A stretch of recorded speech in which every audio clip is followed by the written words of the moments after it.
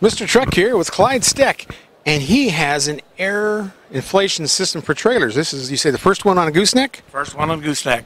Very first one that ever hit the road. Comes from Load Trail. This is a Dexter. Uh, basically, we have a we replaced a hubcap. This is aluminum hubcap. It has a sight glass window. Has a rotator so you can rotate it to line up the hoses to match the valve stems. You can also add oil in this eighth inch filler plug.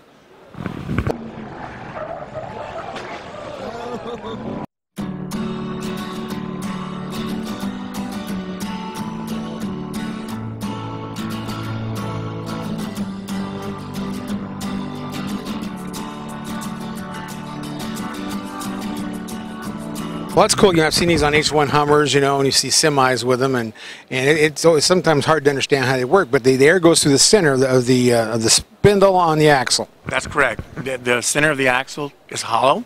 The air comes through a tube, then goes through a rotating mechanism, then comes out the, the rotator here and goes to each hose, to each wheel.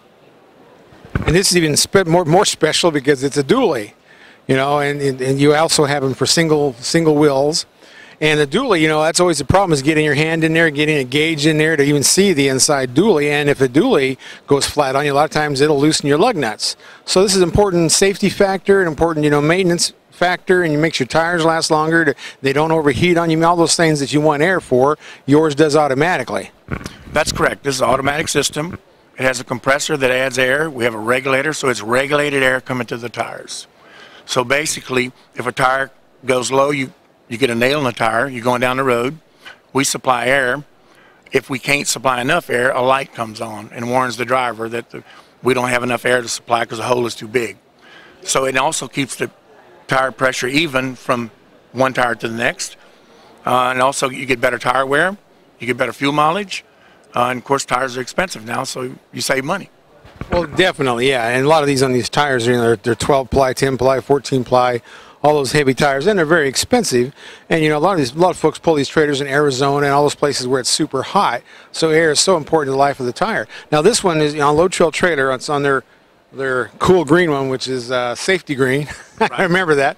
And in the front, there's an air compressor, and the air compressor also has a light on. So if the air goes down or the compressor is running, it comes on, I guess. And two, that way you can disconnect it and use that air compressor to air up your tires, air up your beach ball, or air up whatever it is. But that's pretty cool. Yes, that's a feature that Load Trail wanted. In fact, they even thought about maybe a guy could use an impact if he had to out in the field. So we just have a uh, air supply because it also has an air tank as a reservoir. So we keep the reservoir full. So it's it has several different features that way. Oh, this is great. I need this on my trader. So can you come out to Colorado and get, Clyde, we're here looking at this, the inside guts of all this, of this Dexter axle. We know the air comes through the middle of the axle and goes to the middle of the spindle, but it has a lot of components in there to make this work and be very reliable. Can you run us through it? Yes, the red tubing you see comes from the compressor, goes through a push to connect. From the push to connect, it goes through a cylinder plug, we call it. There's a cutaway. It kind of shows you our components inside the cylinder. This is a seal, a double lip seal. This is a bushing. The bushing keeps the, the shaft, the shiny shaft down there in the center of the seal so it doesn't leak and you get a long life out of it. So from there, from this cylinder plug, we go out to the, the air goes out to the rotator. From the rotator, out to the tires. Wow, that's cool. And that, uh, that outside shaft to turn all those revolutions. You say you've had trucks with two million miles on these, the similar system on a semi, or what were you saying about the longevity of that shaft? Yes, in Florida, we have some uh, garbage trucks there that have been on the road since 1994. And one gentleman said he had 2.4 million miles on them. Uh, we don't have the systems back from him, and we can't qualify that, but that's what he told us on the phone. And that's a hardened shaft, hardened steel. Yes, that's a 50 Rockwell shaft. Wow, that's pretty cool. How does this breathe if you build up pressure from an oil leak or an air leak? I guess it would be an air leak. Yeah, basically there's a slit right here. So this slit in this cylinder, then the air is able to go back towards the center of the axle and come out a special breather we designed.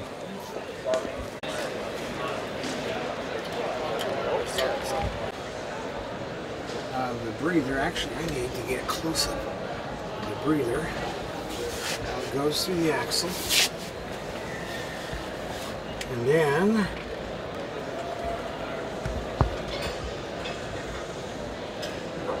fitting design that would hold up. They've been on the market for years now, but we spent a lot of time with push-to-connect companies. Yeah, some of them I like them. I mean, the convenience, you can't beat the convenience. Well, let me tell you about these real quick. Now, I'm, I'm not giving them a quote. You know, hey, we don't, we just buy from the distributor.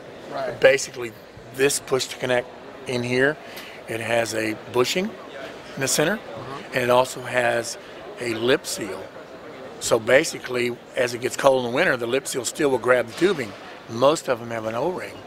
And with an O-ring, when it gets cold, it doesn't work. You know, it's it, it uh, you, you have leakage. So that is really a good push to connect right there. It's got like a bushing in the middle of the tube. Bush in the middle of the ring in the outside. and then it has a, a, a lip seal in it. It has a seal inside instead of an O-ring inside the push connect. So it's on the connect, not on the hose. So Right, in down in that T right here. Right. Right. Um, oh, that's pretty cool. yeah, it's a great design. Those things are pretty expensive too. They are. Good push pull. Yep. Push. You the RV uses used to use them in water. They use them on everything.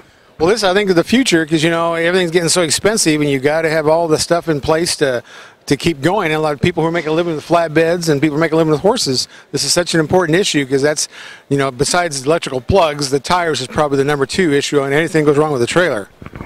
That's correct. And there's a mandate coming in the Class 8.